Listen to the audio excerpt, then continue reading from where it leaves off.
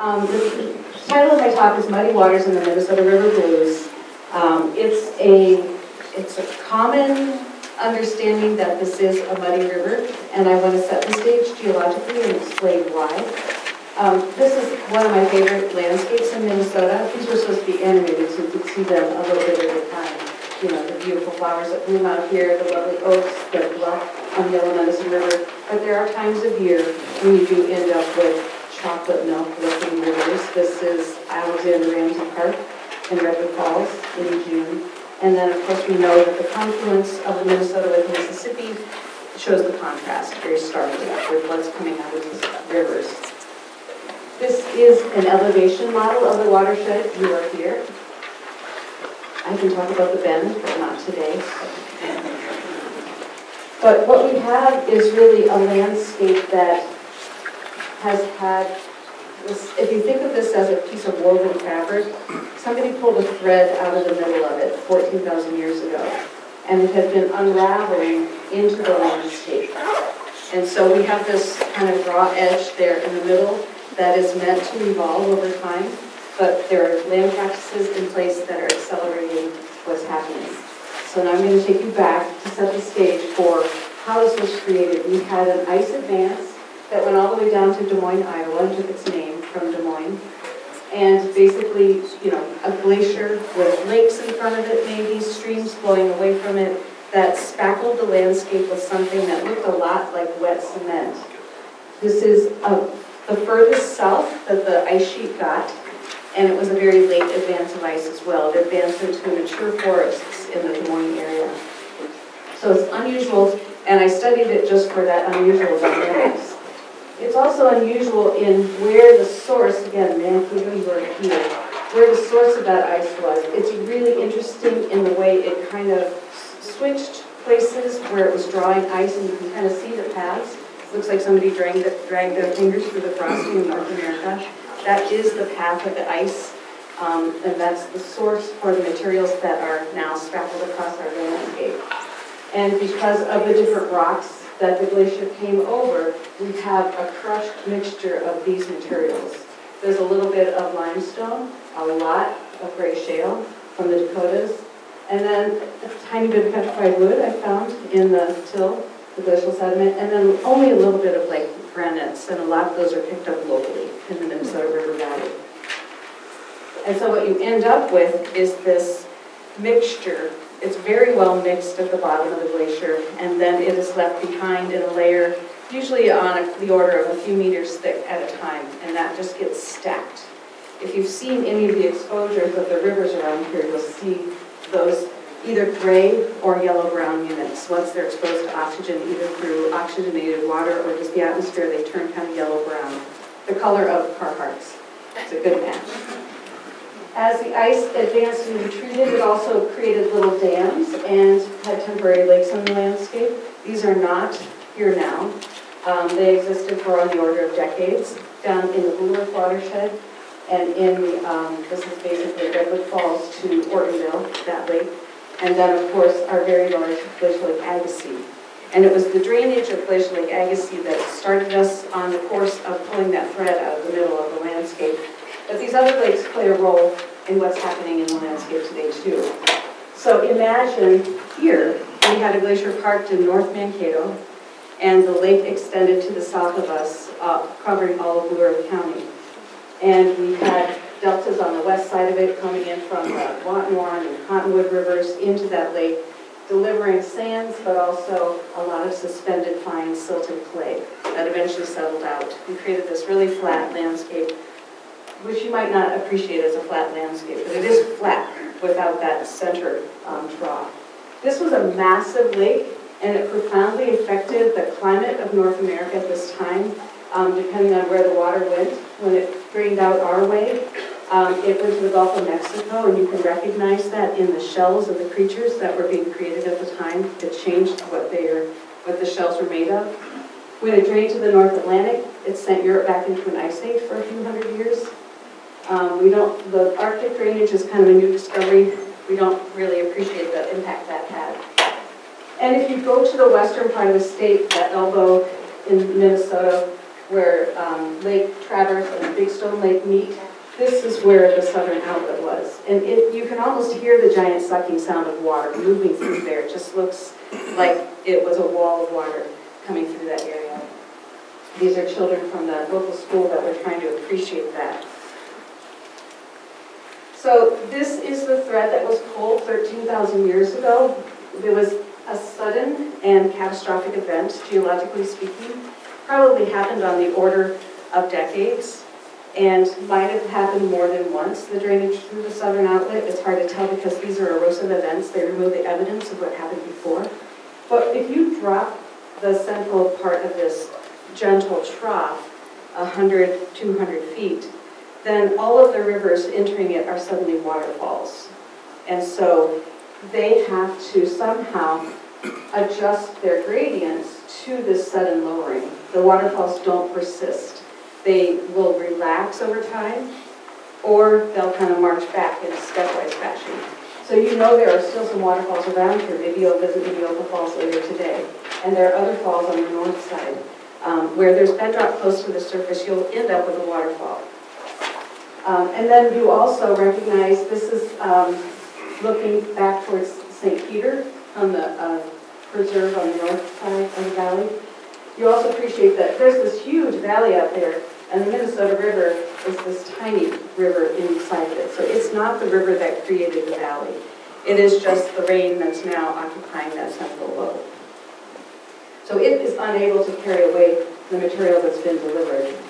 I'm going to focus on this Le Sueur River watershed, which is the one south of us. Um, a friend of mine who worked on this with me called it the beating muddy heart of the Minnesota River Basin. It is kind of heart-shaped. This is what the river profiles looked like on average before that central thread was pulled. So we're looking at profiles of the Cobb, the Maple, and the Le Sueur. Um, these are wonderful canoeing streams if you want to get on that river. I see Mark Bosacker is here, and he's with the Mankato at uh, Paddling and Outing Club, and they take wonderful trips on these rivers when the flow is right. It's harder, doesn't it, Mark, to figure out when you can get on these rivers. But these rivers started up at this elevation, and then they want to end up here. This is how far they've adjusted their gradients in the last 13,000 years. So the lower reaches of these rivers are these steep, bluff-lined stretches. Sometimes you see bedrock. They're really gorgeous. You don't realize you're in an agricultural landscape when you're down in these. And then there is what we call a knickpoint, a step. There's another knickpoint way up in the watershed because uh, easy surface material has been stripped, and so there's some knickpoints high up in the, the watershed, way up here. So 140 kilometers from the mouth. But this is where all the action is happening now, is that knickpoint area. If you have a house in the knickpoint area, um, or if you have visited it 10 years ago and are looking at it today, it will have changed because those knickpoints are moving three meters a year.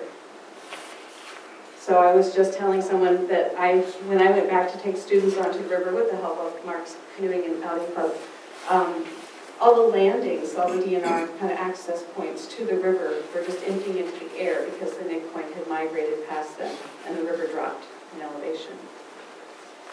So this was a little animation probably overdone. So I talk about these uh, tributaries as unzipping into the landscape. And as they unzip into the landscape, the ravines that are leading to that part of the creek are also going to unzip. So you have this kind of progressive growth of these deep river and ravine systems into the watershed. And you can accidentally accelerate this on your own. This is a long ago photo, it actually was a photo I had to make into a slide. Um, and this was in, it was Big Stone County, I think. This farmer created a ditch that, to drain his field, and that downstream end of the ditch looked like this. So you can accidentally accelerate this process just by giving extra water to the system to work with. There's a natural rate for this to happen, and there's an accelerated rate, which depends on the available water. So the natural rate exposes the, the bluffs at Yellow Medicine, Upper Sioux community, and we have a, a beautiful exposure of glacial sediment there that I visit commonly a million years worth of glacial sediment exposed. Not everybody thinks that's pretty. They think that looks like something that needs to be fixed, but it, that is a natural part of landscape evolution here. What's unnatural is the way we have given this watershed more water. This is the original vegetation map of the area that has been created by looking at the land surveyor's records of the witness trees that were the quarter sections, and then also just notations of vegetation they saw in the landscape. This was compiled and is available at the DNR in county scales and also in the region. But everything that is dark yellow or blue was water held on the landscape.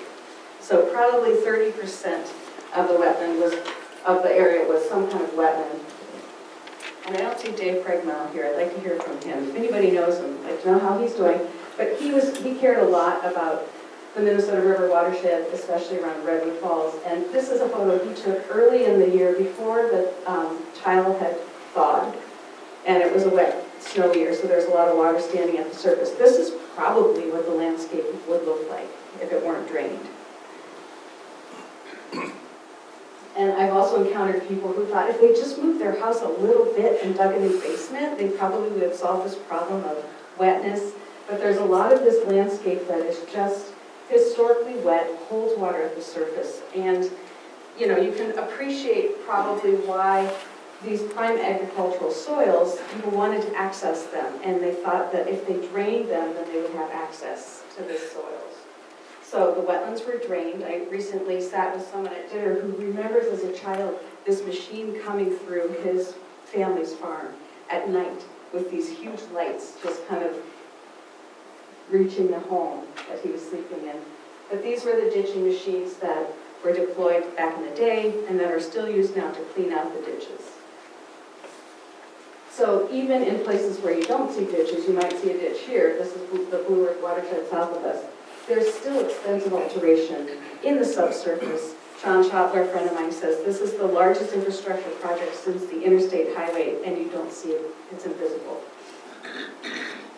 You can see it in some air photographs. So this again is Brewer County with um, section lines for scale. Um, and you can see the stripes of the subsurface tiling that has gone in. This is a, a machine that emplaces that tile. These are perforated, flexible, corrugated black pipes that are laid in with kind of like a chainsaw that buries it as it moves. And what they do is they keep the water table from ever coming up higher than the depth of the tile. So you might get rain falling on that landscape that would like to raise the water table, but it will only come up to the elevation of those perforated pipes, and then it moves laterally into the ditch and into the stream. So in 20 minutes, a rain event that is wetting the middle of this field, well, that rain will be delivered to the, out of the field, to the ditch. That's PhD work with Sue Magdalene. And if you have a low spot, you can always pump it out. So there are ways to just get rid of all the water in the upper four to six feet of the landscape. The other thing that we don't think about as changing, um, so the drainage effect on these watersheds, and these are all the watersheds, the, the major tributaries in Minnesota, the drainage effect is by far the most significant change in water delivery to the rivers. However, soybeans also play a role. So the conversion of crops from perennial vegetation like alfalfa to something that only has significant leaves for a portion of the year also delivers more water to the stream because those leaves are important for returning water to the atmosphere. And if you don't have active plant growth on the landscape, it's not doing that bit of returning. And then you have August when the corn is returning a lot of water to the atmosphere you have this extreme humidity that also changes the way weather happens out here. Um, we also have a climate effect. The, the nature of rainfalls has changed. You know that. It's um, They're farther in between and they're bigger when they happen. This is a kind of a messy slide that I borrowed from Kevin Keener, tried to fix, but it's not overlaying very well. But these are, in fact, this isn't going to work because this was a sequence, so I'm just going to go. Those wetlands in Seven Mile Creek watershed don't exist anymore. Um, that was a map of what it looked like in 1938. And now we're down to just a very small percentage of the water held on the landscape. Swan Lake still exists in that area, but we don't have very much water storage otherwise. And the other thing that I was referring to about the canoeing season on these rivers, so you might want to get out onto the water between April and June, but that actually is the scariest time to try to get onto one of these rivers Because if you get a little rain event, rain is the black lines coming down from the top. Get a tiny little rain event, tenth of an inch, your stream jumps up really high really quickly because of tile drainage. And then it goes back down almost as quickly. It's also carrying a ton of mud. So you have very high sediment loads and very flashy streams. You can see that once we get leaves on the crops after mid-June, you can have big rain events and there's nothing happening in the river anymore. And that's because the crops are hijacking the water that would be delivered to the stream. You've drained out that moisture that was stored in the soil, and then you have this time when you're going to be bumping your boat down on the gravel. So talk to Mark last minute about when a good canoe trip would happen. Um, fall and wind, I would say shoot for sometime in there. It's terrifying to be there when it's a, when it's a peak stream. So this critical time of year is coming up, this time between um, thawing of the ground and crop emergence. And that's when the landscape is most vulnerable to sediment, but also water leaving the system. And a lot of this water drains directly to rivers. This is not your watershed, this is the South Fork of the Crow. It has similar problems. Um, and what we really like to see is return of landscapes to something like this, where even when the vegetation is not green, you're still taking up the water. We did some studies down here that actually looked at specific reaches of the rivers. I know you can't read that, but this is channel width, and the blue line is channel width in um, 1938, and then we looked again in 2008. So this extra water is also widening the rivers. Some of them are twice as wide, so you can look at um, average channel width of like 50 meters here, and you see channel width of 150 meters there. So it's not your imagination that 169 is closer to the river than it used to be. It is. And then the great collector you'll hear from people in um, the Lake Pepin Legacy Alliance is, it's kind of an interesting experiment we have in Minnesota because these three major watersheds all drain to Lake Pepin and they collect, Lake Pepin collects the sediment from those watersheds and you can tell that sediment apart. I would say that it's a little confounded by the Cannon and the crow looking very similar, so I kind of think in my mind as those being operating in the same way. But what we have is these watersheds in pink are only 38% of the delivery of water to Lake Pepin, but they contribute 85 to 90% of the sediment. And so this actually is shortening the life of Lake Pepin significantly. Lake Pepin is, it's an unusual lake to begin with. In fact, Minnesota has several of this kind of river lakes. I started talking about Traverse and Big Stone, and there's also Marsh Lake and qui Parle. And then in addition to this lake, there's Lake St. Croix. They're all lakes on rivers, which is just unusual. And it's because we had this big creation of the valley event initially, and then tributaries coming in that are delivering more sediment than the river can carry away. So it backs up the river and creates this river lake. But Lake Pepin in any event is what used to extend all the way up to downtown St. Paul, and it has been gradually shrinking as sediment has been delivered to it over time. It's accelerated that infilling since Europeans arrived, and there's been quite a bit more sediment um, in the most recent time. So we have documented this work with um, researchers from the St. Croix Watershed Research Station, sticking tubes into the bottom of Lake Pepin, pulling out the sediment cores, distinguishing where they're coming from, and we actually developed a method to tell where we were getting sediment from the surface fields and where we were getting it from the riverbanks. And so in addition to this total, adding the two bars together, in addition to that increasing over time, we also have a switch from field sediment to non-field sediment. This is your river widening sediment. This is your ravine growth sediment. This is, you know, from the excess drainage. We still get quite a bit from the farms fields themselves. It's, it's pretty steady, but we have accelerated that non-field load. And that's just, this was supposed to appear sequentially. It's a progression in farming and the, the drained landscape. So this really is a story of unintended consequences. Um, you can't fault the people that are originally trying to make a living here, but you can, we can document this problem very well. We've had some of the best um, river scientists looking at this system, especially in the Blue Earth watershed, and we know what's happening, and we know it's not about erosion from the fields as much as excess